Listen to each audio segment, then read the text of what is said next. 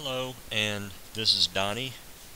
Wanted to welcome uh, you to this particular uh, quick tutorial. This is just real basic, uh, simple editing. And if you notice that I'm using Windows 7, and it's just a given uh, Paint uh, program that just comes packaged uh, with the software but I don't use this. It's a pretty nice uh, given software. It can do some basic things. Uh, I personally use um, uh, Corel uh, Paint Shop Pro Ultimate 4X. Uh, but, um, you know, ship modelers, uh, I get email from time to time uh, from ship modelers wanting to know how to resize, how to crop, resolution, uh, pixels, size of the pixels of the camera, and just questions just go on and on. Uh, so this particular tutorial is just off the top of my head. I don't have any uh, pre-written uh, notes or script. This is just going to be just off off my cuff and we'll just see uh, what we come up with. Uh, by the way, the camera that I just bought here for Christmas is a Canon T3i and before that I had a Sony A350 Alpha and the reason why I chose the Canon is basically the Sony that I had just uh, tried to do some modifications to it and there were some other issues with it that uh, I didn't like. There's more accessories out there for Canon, and I believe this particular camera is 18 megapixel. By the way, just because you take a picture of anything, that does not mean that you're going to have 18 megapixels available to you. It depends on what kind of a picture or an image that you're taking just go out and, and just take a picture turn the lights out take a picture of the darkness or take a picture of of a, of a very very dark room to almost where it's pitch black dark. Develop that. Put it in your card reader and see uh, what file size you have. Put up a white card or a gray card. Take a picture of that and see what your file size is. Picture resolution is just uh, dependent on uh, what the content of the picture is. Uh, just try and see what happens. You'll be uh, pretty amazed. When you're talking about uh, resolution, it's really it just really depends. There, just because you take a picture does not mean that it's all going to be the same. I'm sure you have noticed that every time you put your card or the memory stick in your computer, every one of those files is a different size I guarantee. Uh, and obviously the larger megapixel uh, camera that you have uh, due to the forums and whether you upload your images uh, to like Photobucket or Flickr or uh, there's some others out there uh, if you do not compress or resize the image yourself then they will do it for you. And I think that uh, PhotoBucket, uh, what I happen to use, www.photobucket.com, I think they'll accept the full bandwidth uh, of the image. Notice I said bandwidth. Well, sometimes bandwidth is the same thing as file size. If I have a file size that's uh, 4 kilobytes, I'm just basically saying that the bandwidth is about 4 kilobytes. Uh, so that's basically uh, interchange uh, resolution or file or bandwidth is all basically uh, one and the same. Um, I guess there's really not much else to talk about photos. Uh, one other thing, sometimes what I'll do is I will take um, the pictures that I take and I actually reduce a lot of the color or sometimes in video they call it chroma. And when you reduce the coloring of an image, you're also reduce the file size because the pixels and the coloring uh, also has an effect on the size of the image. If you just turn that full color image into nothing but a black and white or a grayscale, uh, even though I haven't tried it, I am venture uh, to tell you that you will probably immediately reduce the file size probably about 25%. So that's a further uh, image resolution reduction technique uh, that I use. And of course the uh, Corel uh, Paint Shop Pro, it has an exporting utility where I always export the image out to what is called a, a JPEG uh, optimizer. JPEG stands for Joint uh, Photographic Experts Group. And then you also have GIF, uh, PNG, uh, TIFF, which those I, I don't care to use. Uh, basically, I've done a lot of studying on the subject, and for all practical purposes, uh, JPEG is really the standard in the format that you really need to work with and what you need to stay with. Okay, so now back to this real simple uh, paint program. What I'm going to do here, just click on this. We're going to open up a file here. I'm just going to go to a Sultana that uh, I completed. So, the first thing I would like to do, let's just resize. We will click on resize. You notice one thing automatically that I don't really care about too much is that uh, the paint program does this percentage. We don't want percentage. It's just really hard to get specific uh, with percentage. So what we're going to do is we're going to click pixels. Before I do this, let's look down here at the bottom. On your taskbar, you will see that your image is 550 pixels by 733 pixels. The size of the file is 91.0 uh, kilobytes. But what we want to do is we want to choose pixels. Now, 550. Let's just say that um, I want to make this like 500. Now you notice when I type in 500, we're going to watch this bottom figure here change.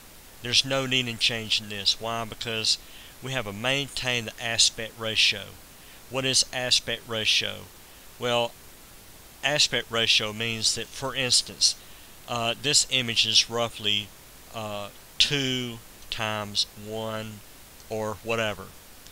And when we check the maintain the uh, aspect ratio, when we type in 500, you'll see automatically here's the, the vertical. We change it to like 475 and it's 633. We can even go as low as 200 and it's 266 maintain the image uh, aspect ratio. This is crucial. You have to do this in order for your your image uh, not to stretch out of proportion. So let's go back up to just another number here. When I click OK, boom, it just kind of reduces it even more. But sometimes when I'm working with something, I want to have a thumbnail. So I'll make a thumbnail. I'll do resize again. And again, we come back up here to this percentage. You got to watch that. Go to pixels. So let's choose something that I can use as a thumbnail. And it even gets even smaller. And let's just go back and uh, we have it grayed out. That means I have gone back to the original size. Okay, what about going bigger? Yeah, we can go bigger. And but there are some things uh, about going larger in the fact that you're going to be introducing noise. Because when you go bigger what happens is these little pixels in here they basically clone each other. In other words if I have a pixel here that's sort of like this cream color and when I increase the size of this here this increases to 800 see the vertical has already automatically adjusted itself you go to OK the picture is bigger but I can start seeing a little bit of freckling a little bit of noise why because in order to make this picture bigger the image has to borrow pixels from a neighboring pixel and say, hey, I need to look like you, let's duplicate. So you can have one pixel here, and basically it runs a mathematical algorithm. It depends on what size you're wanting to make it larger, and it will either duplicate uh, another pixel, two more pixels, four or eight, or uh, a whole gamut, a whole section. It will get to the point where you continue to resize this larger and larger and larger, and you will completely lose a lot of your image details. Things start looking grainy. You just don't want that. So let's go back to its original. You'll see how things look a lot more smooth. Um, let's talk about uh, maybe cropping. Remember, this is resize. When you resize, uh, let's go back and look at something. Then we're going to resize this back down to 300 by 399. And uh, it's interesting here that the size still says 91.0K. But I bet if I was to do a save as, here we have PNG, that stands for portable network graphics. We don't want that, so we can do this. And let's just save this up to the desktop so we'll know where it is. And we'll just do like a Sultana uh, test. I'm going to save this. And you'll see immediately what happened. The size went down to 46.3 kilobytes and it shows the new image resolution. I'll just go back up here and even though it still shows uh, we're back to the original image resolution but this is not uh, keeping up I'm not too sure why it's just part of the software program okay.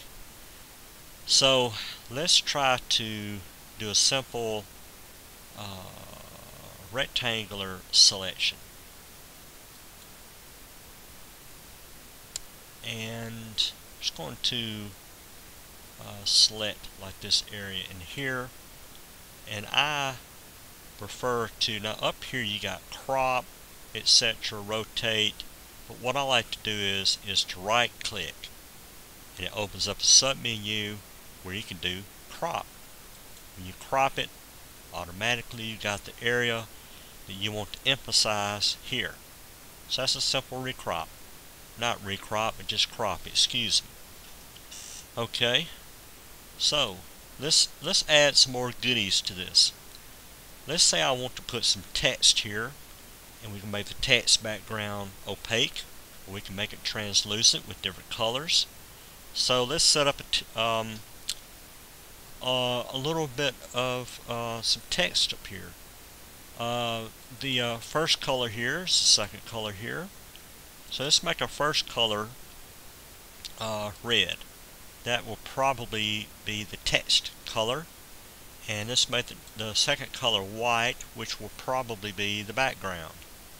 Okay. So let's go up here and click text. And as soon as we take our mouse and click in this area, you will see now that we have a choice, opaque, transparent. Obviously transparent uh, you're going to have red text on this cream colored background. If you select opaque, you're going to have red text with a white background. Why is that good? Well, uh, you want to de-emphasize this area. Let's go ahead and go with opaque. You'll see that the color has already changed white. Uh, here's where you can uh, select your uh, text style. Come down here and we just choose like Arial. And here's the text uh, size. We've got bold italics underline and your usuals. So uh, right here we're just going to say um, Sultana Colonial uh, Schooner. Okay to automatically drop down to the um, next line here. And um, this particular program it seems like they might not allow you uh, to center justify this or right justify but just for all practical purposes uh, it's done so if I click again we just go back or hit the escape key. Now I hit the escape key so here's the um, here's the fin finished product. Okay let's say that we want to uh, highlight something here. We can put in a little pencil. We can choose a size like a thick line here. And we say okay this is pointing to whatever. Um, it doesn't seem like to me that we have any tool to draw just a straight line with. Maybe this right here. There we go. So there's our straight line. Like I said this is all new to me. I'm just uh, this is just off the cuff. Okay so what we'll do is we'll just navigate back make sure it says, says line click line at color 1 let's choose uh, like green hold it down and then point. So there are some different ways that you can use uh, this paint. Basically it gives you uh, the basic tools. It seems like to me that uh, you got rulers uh, which is real good. Here you can see the pixels goes all the way up to like over 1600 pixels that way. It comes down to a little over 800 pixels that way. Uh, you have grid lines in case you need to uh, have more specific uh, spacing uh, etc just right off the I don't see any other tools like editing as far as making this image darker, brighter, or changing the hue or whatever. I don't see anything like that. But basically, overall, this is free. It comes with your program, Windows. You can see I can resize crop, add captions, lines to it if I want to. And um, basically that's about it. So thank you so much for uh, visiting and perhaps next time I will uh, talk about how to use this uh, Corel. I'll go ahead and open that up. And this program is not that bad. It's about uh, 60 US dollars and it does to me a real good job of managing uh, your programs you see here you go to edit and it allows you to have so many different types of things that you can do. Uh, but we will do this at a later time. And uh, thank you very much for uh, joining in